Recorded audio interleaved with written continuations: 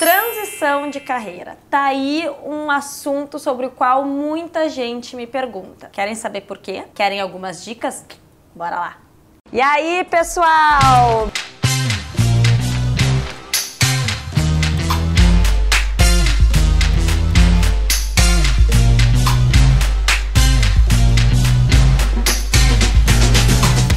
Então, volta e meia eu recebo muitas perguntas sobre transição de carreira. E esses dias não foi diferente, recebi uma mensagem de uma moça lá da Bahia me perguntando algumas questões, como é que eu me sentia, como é, né, dizendo que viu o meu primeiro vídeo do YouTube, no qual eu conto a minha história, exatamente como é que foi, inclusive como tudo começou, dando algumas dicas imediatas, assim, de, de como fazer para tomar coragem e começar a caminhar nessa transição, porque é uma jornada, né, gente? É um, é um dia após o outro, é um caminho. Uh, enfim, só que esse vídeo tem dois anos e muita coisa mudou desde lá, né? Eu, nessa época, eu tava super youtuber e tava trabalhando com consultoria de moda. Hoje, eu tô na TV, né? Sou apresentadora de TV, apresento um programa diário, ao vivo, além de todas as outras mil coisas que eu faço. Mas a minha realidade mudou totalmente. Então, da moda, eu parei de, de trabalhar diretamente com moda e tô realmente na comunicação. E agora, retomando fortemente aqui o YouTube, e eu vou ler para vocês algumas das questões que ela me botou. Então, retomando, tá, gente? Para quem quiser saber dicas para transição de carreira para aplicação imediata, vai ali no linkzinho desse meu vídeo que tá, tá bem quentinho, inclusive vocês vão ver que eu me emociono bastante e eu eh, não tinha ainda acertado a mão também na make, tá meio pesada, não curti. Mas enfim, isso faz parte, né? Nada como a experiência, um dia após o outro, a gente vai melhorando, vai vendo que funciona, blá blá blá. E. Putz, eu perdi aqui. Ó, shit.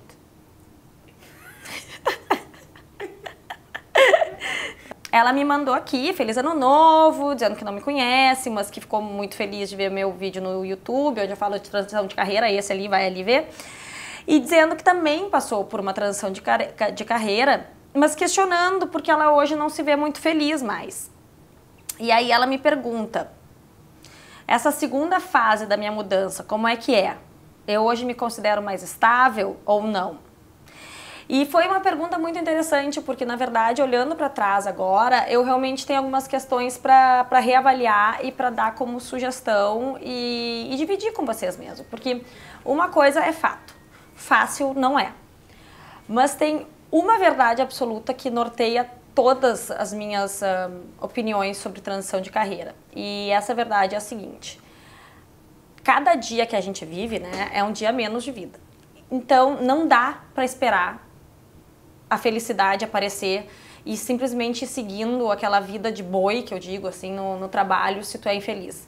Ah, mas eu ganho meu dinheiro, eu preciso. Bom, a não ser que realmente a pessoa precisa, tá? Aí, claro, se a gente precisa, a gente faz qualquer coisa.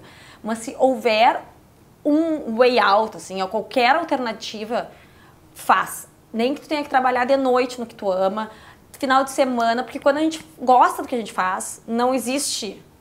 Nem existe final de semana, porque eu trabalho o tempo todo, né? Eu tô sempre envolvida.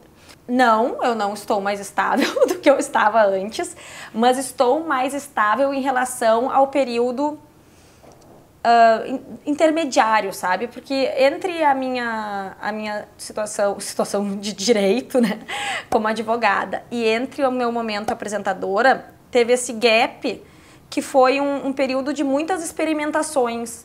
E eu errei muito, e eu acertei muito, e eu conheci muita coisa dentro de mim. Então, isso é uma dica que eu dou. Não tenham medo de fazer coisas novas, de dizer sim, de errar e de experimentar, porque nesse caminho, muitas vezes tu te descobre e descobre algo que tu julgou nunca fosse ser possível assim de acontecer. E foi o que ocorreu comigo. Quando eu saí do tribunal, eu não tinha como meta, tá, larguei tudo, agora eu vou ser a nova Fátima Bernardes. Um, eu vou ser a próxima Fátima Bernardes, mas eu não sabia disso ainda. Eu queria só trabalhar com moda e fazer editoriais de moda, produção, consultoria. E olhem como a vida deu um giro. E hoje eu tenho certeza que eu descobri a minha vocação. Isso é muito louco. Isso é tipo muito louco. Isso é tipo muito louco. Quando tu tá naquele lugar e tu sabe que tu deveria estar tá ali mesmo. Esse é o momento parada para refletir, porque aí tudo fez sentido. Então, estabilidade, hum, não. Né? Se quer estabilidade, vai fazer um concurso público, meu bem, e olhe lá, porque nem aposentadoria eu acho que tu vai ter. Mas a, a sensação de correr um dia após o outro em busca dos teus sonhos e para vender teus projetos, sejam eles quais forem, emplacar, nossa! Então, assim, essa é, essa é a grande inspiração que eu quero trazer aqui, respondendo a pergunta dessa minha seguidora e a todo mundo que, que nos acompanha. Não é fácil, é trabalhoso, uh, não tem garantia nenhuma mas eu garanto que se for para viver uma vida diariamente fazendo o que se ama em busca da, da tua realização, seja ela qual for, isso aí não tem, ou melhor, tem preço, tá? Mas é um, o, preço que se paga é baixo considerando o que se ganha de vida. Então, vai, vai atrás. E se vocês tiverem alguma história para me contar, deixa aí nos comentários. Se tiver dúvidas também, pode me mandar, a gente vai conversando. E inclusive pode servir para um vídeo novo, quem sabe, hein? Hein?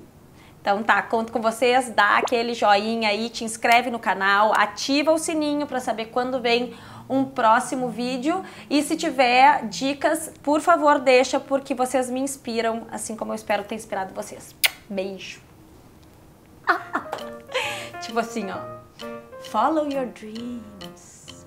Já sei, quem sabe eu não vou ser tipo uma fada madrinha assim. Plim!